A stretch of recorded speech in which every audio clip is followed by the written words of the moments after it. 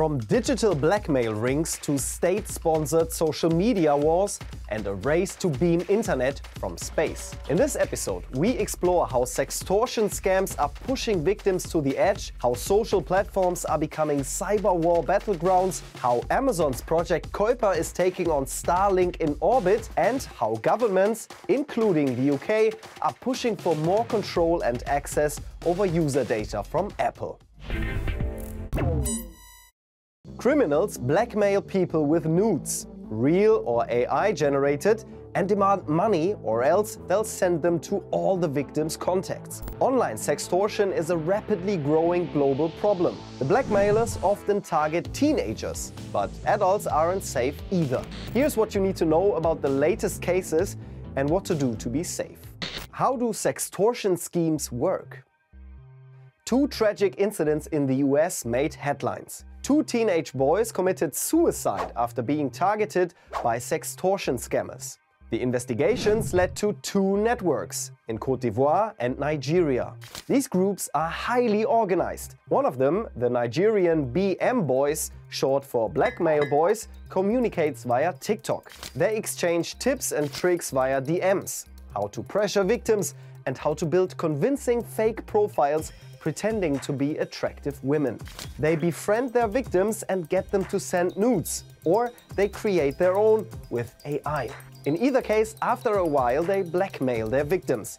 Send money or the nudes will be sent to your contacts. In the US, victims lose an average of $2,400 per scam. After communicating via TikTok, the Nigerian BM boys prefer Instagram to execute their scams. But scams also happen on YouTube, TikTok and messaging apps. And sextortion scammer networks have been detected all over the world.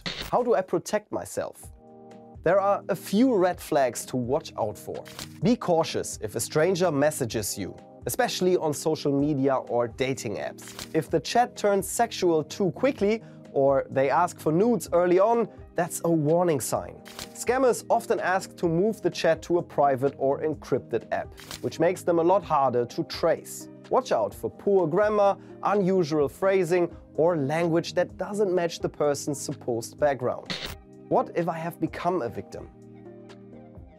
Well, firstly, try to stay calm. Talk to someone you trust. You don't have to go through this alone. There are also organizations and hotlines that can provide professional help. And then act smart.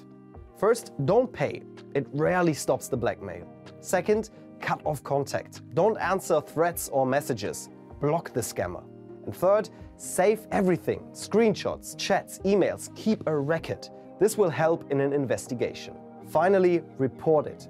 Go to the police. Reporting could help stop the scam and protect others. What if your feed suddenly turned into a battlefield? That's what's happened on Instagram, YouTube and X in India and Pakistan. The Indian government has blocked the social media account of Pakistan's Prime Minister and he's not the only one being silenced. It's Pakistani actors, athletes and even media outlets. Why? Because there are serious tensions between the two countries and social media can be used as a weapon. X, Instagram, Facebook, YouTube, they're all part of a growing digital war. So what does this kind of warfare mean for you and for your social feed? Let's break it down. Since they became independent, there have been several wars between India and Pakistan. In April, an attack in a tourist spot in Kashmir claimed 26 lives. India believes the attackers have ties to Pakistan. India retaliated, first by cutting some diplomatic ties, closing the borders, and then attacking several targets in Pakistan with missiles. But the battle also takes place in the digital world. And that's where social media becomes a weapon. Blocking accounts is a very useful way to silence opponents. But how does it work? Sometimes governments block entire platforms. For example, after Russia's invasion of Ukraine, the Russian regime blocked Facebook. Why?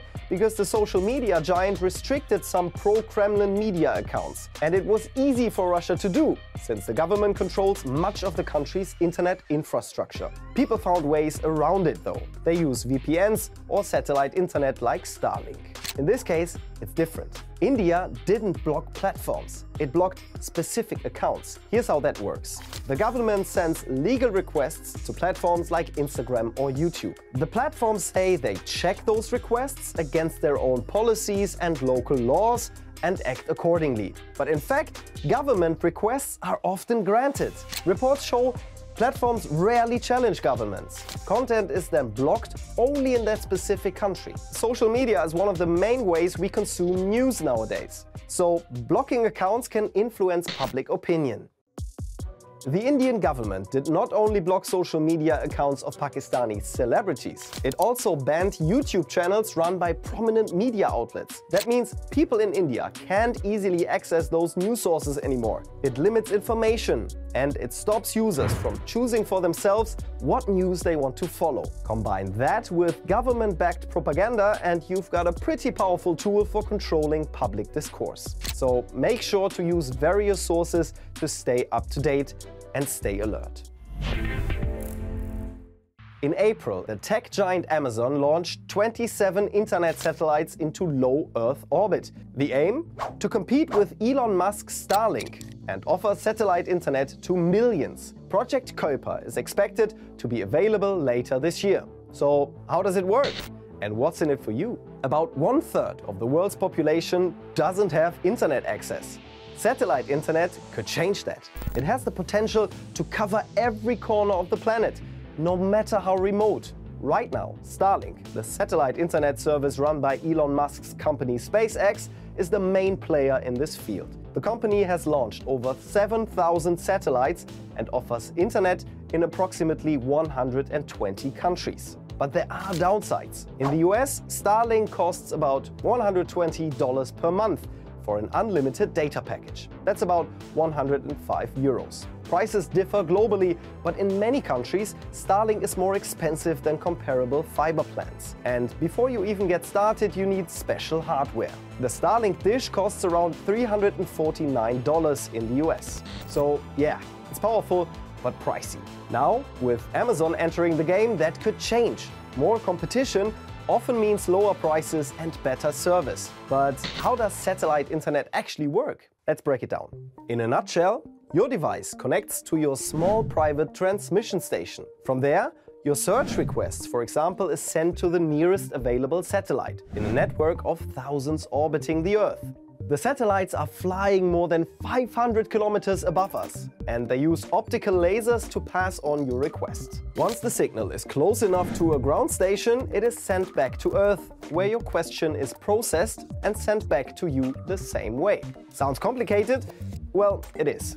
You need thousands of satellites, all moving at nearly 30,000 kilometers per hour. And they have to stay in sync, constantly connecting with your dish and the ground infrastructure. But it does work. Impressive, right? Well, there are drawbacks. In theory, Starlink and Kuiper offer low latency, which means they can be fast enough for things like real-time gaming. But in practice, a few things can slow it down bad weather, for example, or just too many users on the network. When a system hits its capacity in one area, internet speeds can drop. To deal with demand, companies need to launch more satellites. Some scientists are sounding the alarm. They argue that the more satellites there are in orbit, the higher the risk of a collision, even if the satellites have collision avoidance systems in place. Just one broken satellite can create space debris. And that debris can trigger chain reactions, making space a more dangerous place. Is satellite internet an option for you? Let us know. The British government wants Apple to create a secret way into their system to access your private data. Apple declined and pulled their advanced data protection feature from the UK completely. Privacy advocates are sounding the alarm. And it's not just the UK. Governments worldwide are pressuring tech companies to disclose more and more user data. What's happening? And how can you protect yourself? In February, the British government demanded access to encrypted data stored within Apple's ADP. But here's the catch. Even Apple can't unlock that data. That's the whole point of encryption. To make it happen anyway, Apple would need to create a backdoor. The UK government says they'd only use this with a court order. But privacy experts argue once the door exists, it's hard to control who uses it and indeed opens it. But how would this even work?